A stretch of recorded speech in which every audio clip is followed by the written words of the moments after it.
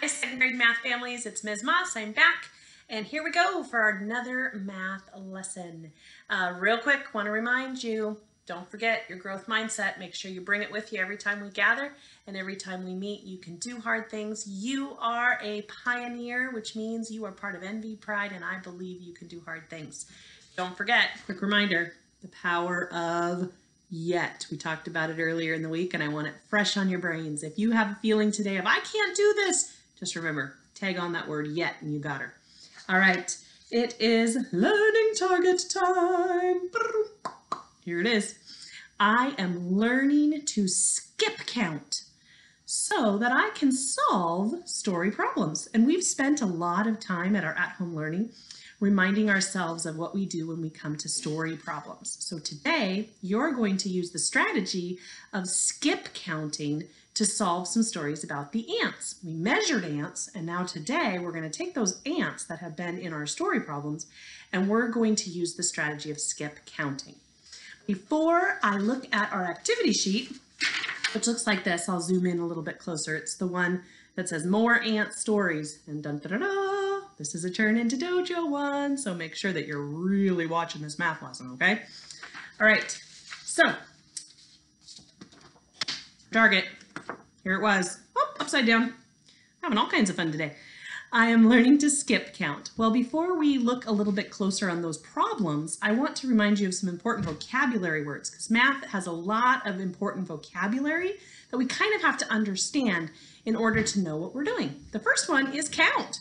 What does it mean when we count? Counting is a way that we keep track of a quantity of numbers. It's like naming the units that are in a group. We can do it one by one, but we can also count by twos. We've been counting by fives in second grade. We even can count by tens, and in fact, you can count by groups of numbers.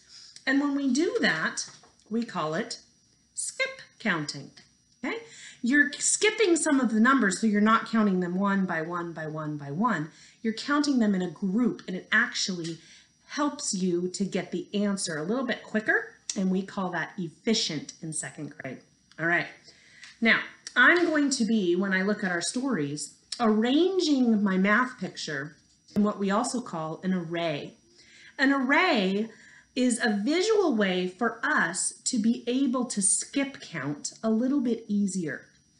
And you've seen some arrays before. You can see this is a dot array, this one's with squares.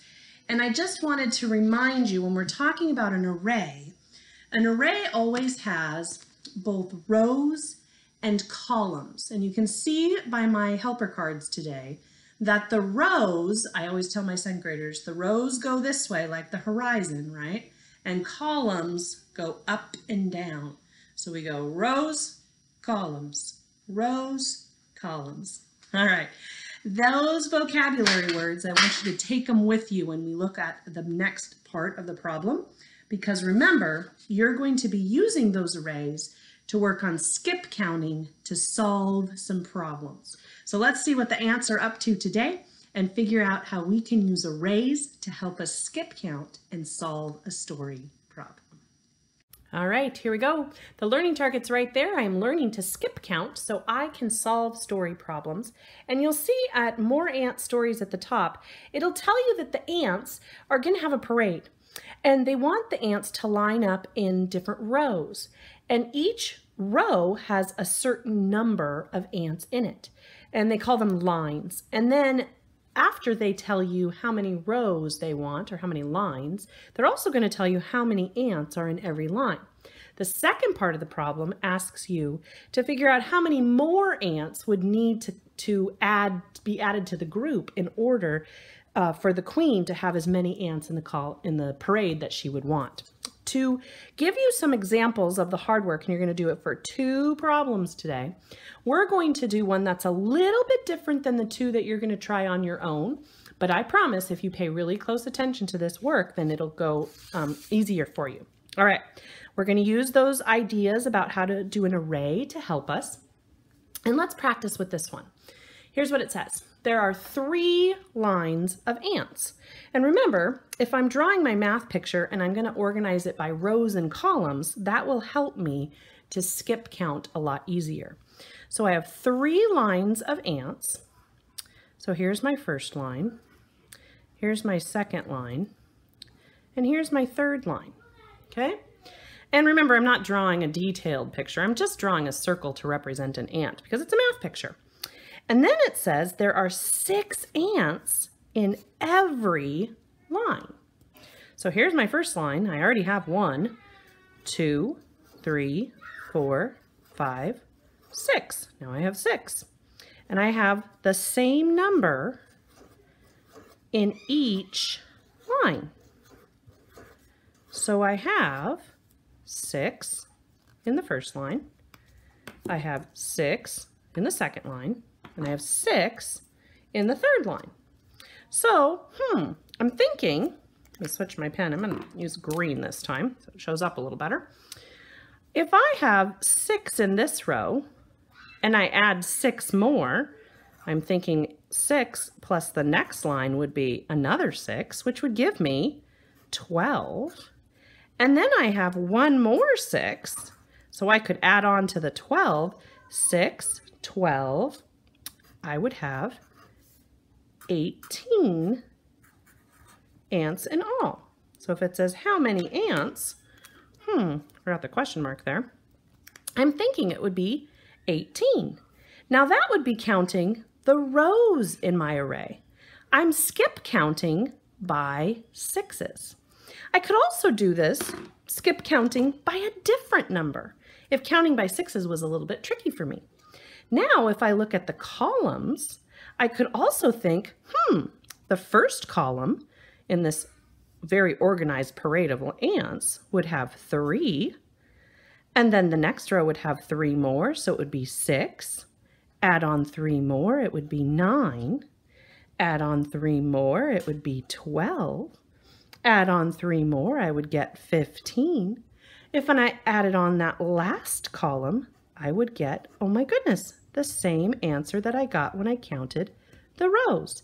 This time, my equation, I was skip counting by threes, and I have one, two, three, four, five, six. One, two, three, four, five, six threes but it also gives me 18 in all. So how many ants? 18 ants lined up. All right, so now we just showed how you can skip count by two different numbers. I could skip count by sixes or I could skip count by threes. The second part of the problem will ask you to do some work on the open number line, which is what we just practiced on Monday. This time it says the queen wants 24 ants for the parade. But remember, she only has 18. So here we are at 18, and she wants to have 24 ants line up for the whole parade. How many more ants would need to line up?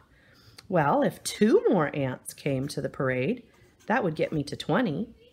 And then I would need four more ants to go from 20 to 24.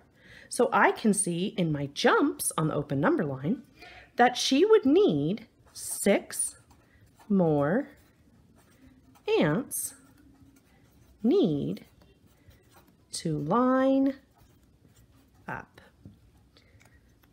This is the strategy of learning to skip count. All right, friends, I sure hope that that helped you how to skip count so you could solve your story problems today. Don't forget when you're making your math picture to organize your ants in an array. That will help you when you've got your rows and your columns to be able to skip count accurately and keep track of what you've counted. So organize those pictures really nice and tidy, and then don't forget to use the open number line to see how many more ants would need to join the parade. You are going to be practicing lots of math skills and doing this hard work, understanding story problems, using the strategy of skip counting, drawing an array and a picture that represents your hard work to show your thinking. So if any of it at any point feels hard, don't you panic. Just remember, that you can do it. Embrace the power of yet. Believe in yourself, and I know that you will have success with math today. Don't forget, this is an activity that your teachers want you to upload a picture into Class Dojo so that they can give you some feedback. Off you go to stretch those math muscles and do your best work. Don't forget, your effort is most important every single